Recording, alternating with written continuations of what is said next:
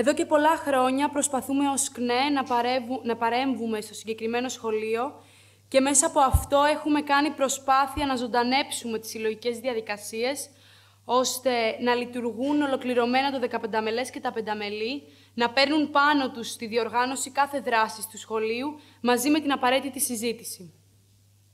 Ας ξεκινήσουμε λοιπόν με την περίοδο όξυνσης της πανδημίας μετά το άνοιγμα των σχολείων, που μέσα από κινητοποιήσεις μας, πέρα από τις μορφές που είχαμε επιλέξει, π.χ. κατάληψη ή αποχές, φτιάξαμε βίντεο με καλλιτεχνικό περιεχόμενο για να προπαγανδίσουμε τον αγώνα διεκδίκησης ουσιαστικών μέτρων προστασίας από τον κορονοϊό και ταυτόχρονα αναδεικνύαμε τις ελλείψεις και την υποβάθμιση των σπουδών μας ως μαθητές καλλιτεχνικού σχολείου.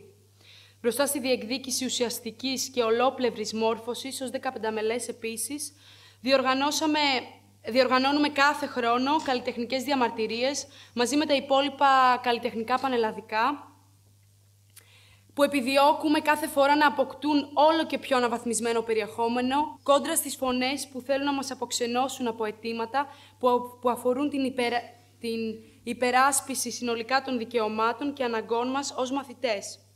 Επιπλέον, στο 15 MLS βγάζουμε ανακοινώσεις που σχετίζονται με τη διοργάνωση των αγώνων που έχουμε μπροστά μας ή ζητήματα των εξελίξεων που μας αφορούν.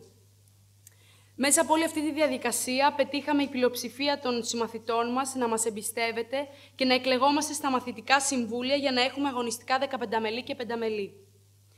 Με το άνοιγμα του σχολείου το Σεπτέμβρη υπήρχε η ανησυχία όλων των μαθητών τόσο για τα κενά σε καθηγητές, τον τρόπο εξέτασης και άλλα ζητήματα που σχετίζονται με την καθημερινότητά μας στο σχολείο, αλλά και κοινωνικά ζητήματα που αφορούν τη ζωή μας συνολικά, όπως η αύξηση των ανταγωνισμών που οδηγούν στην ακρίβεια και τον πόλεμο. Ως ΚΝΕ, από την πρώτη στιγμή, συζητούσαμε με τους συμμαθητές μας για τις συνθήκες που ζούμε, την εκπαίδευσή μας και την ενασχόληση με το αντικείμενό μας. Κάναμε σοβαρή προσπάθεια να φέρουμε αυτή τη συζήτηση και στα μαθητικά συμβούλια, στις συλλογικές διαδικασίες των μαθητών του σχολείου. Όλες οι συζητήσεις φυσικά κατέληγαν στην αναγκαιότητα του οργανωμένου αγώνα και στις ε, μαζικές κινητοποιήσεις μας. Συνεπώς, ανταποκρινόμενοι στο κάλεσμα της Συντονιστικής Επιτροπής Μαθητών Αθήνας, κατεβήκαμε στην πορεία στις 24 Οκτώβρη, αφού πρώτα είχαμε συζητήσει το περιεχόμενό της και το πλαίσιο πάλι των ετοιμάτων της. Πήραμε απόφαση και μαζικά ε, πήραμε απόφαση μαζικά, γιατί η κυβέρνηση επανειλημμένα υποβαθμίζει με κάθε τρόπο τη δημόσια παιδεία με ένα σωρό μέτρα εκτρώματα, όπως η Τράπεζα Θεμάτων, η ΕΒΕ και φυσικά η υποχρηματοδότηση των σχολείων. Αντίστοιχα, συμμετείχαμε στην πανεργατική απεργία μαζί με τους καθηγητές και τους γονείς μας, γιατί η ακρίβεια χτυπάει και τη δική μας πόρτα γιατί οι γονείς μας δεν μπορούν να πληρώνουν τα φροντιστήρια και τις εξωσχολικές δραστηριότητες, ζητήματα που κινητοποίησαν και τους συμμαθητές μου. Εκτός από την ενεργή συμμετοχή μας σε πορείες, πήραμε θέση και με αφορμή την επέτειο του Πολυτεχνείου, οργανώνοντας μόνιμα συμμαθητές στη γιορτή, αναδεικνύοντας τον αγώνα των νέων, ε, αλλά και την εμπλοκή της ΣΥΠΑ και του ΝΑΤΟ. Επιπλέον, ξεχωριστά σαν θέμα συζήτησης, είχαμε ανοίξει την καταδίκη του πολέμου στην Ουκρανία, τη δολοφονία του Άλκη στη Θεσσαλονίκη, όπως επίσης και τις εξελίξεις με τα αντιλαϊκά μέτρα στον χώρο του πολιτισμού. Τα καλλιτεχνικά σχολεία, εκτός από τα προβλήματα που αντιμετωπίζουν τα υπόλοιπα γενικά, έρχονται αντιμέτωπα και με άλλες ελλείψεις που αφορούν συγκεκριμένα αυτά τα σχολεία, ε, όπως για παράδειγμα τον ανύπαρκτο καλλιτεχνικό εξοπλισμό και τα αμέτρητα κενά μέχρι το Δεκέμβρη σε καθηγητές ειδικοτήτων.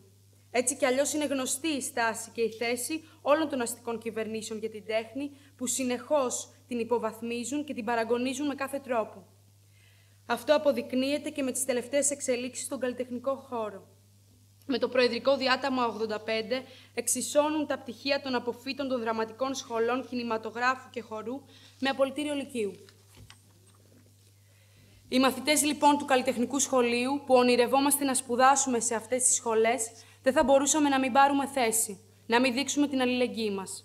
Έτσι, με αφορμή και την απεργία 1 και 2 Φλεβάρι των εργαζόμενων στον χώρο του πολιτισμού, των σπουδαστών και αποφύτων παραστατικών σχολών, Οργανώσαμε καλλιτεχνική διαμαρτυρία, όλα τα καλλιτεχνικά σχολεία πανελλαδικά, όπως προανέφερα, ε, απαιτώντας καλύτερες συνθήκες στη διεξαγωγή των καλλιτεχνικών μας μαθημάτων και φυσικά την κατάργηση ε, του Προεδρικού Διατάγματος 85. Κατά τη διάρκεια της διαμαρτυρίας πήγαμε κόντρα σε φωνές που έλεγαν να μειώσουμε τα αιτήματα ε, της πρωτοπόρας δράσης των μελών της ΚΝΕ και των φίλων μας ε, και έτσι καταφέραμε να εμποδίσουμε και να βάλουμε όλα τα αιτήματά μας. Όλα αυτά και πολλά άλλα ανεδεικνύουν πρώτον τη συμβολή που έχει η ΚΝΕ στην ποιοτική συζήτηση, στον προβληματισμό των μαθητών και φυσικά στην οργάνωση του αγώνα.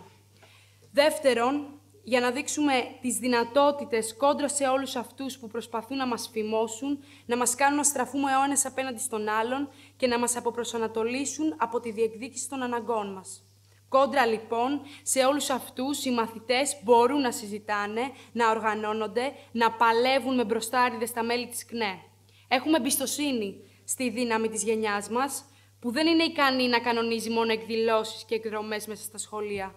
Γινόμαστε καθημερινά μάρτυρες μαθητών που αμφισβητούν, σκέφτονται αγωνιστικά και συσπυρώνονται στο πλάι μας. Χωρίς αυτό να σημαίνει ότι συμφωνούν σε όλα, αλλά είναι πολλά αυτά που μας ενώνουν. Δυνατή κνές σε κάθε σχολείο για να μην τους περάσει. Για να ενώνουμε τη φωνή μας στο δίκαιο αγώνα που τους ε, ταιριάζει η κοινωνία και την οποία παλεύουμε για να συμβάλλουμε στην ανατροπή του σάπιου συστήματος. Συνεχίζουμε αγωνιστικά με θάρρος και πίστη για μια κοινωνία και ένα σχολείο στον πόη των αναγκών μας. Ευχαριστώ.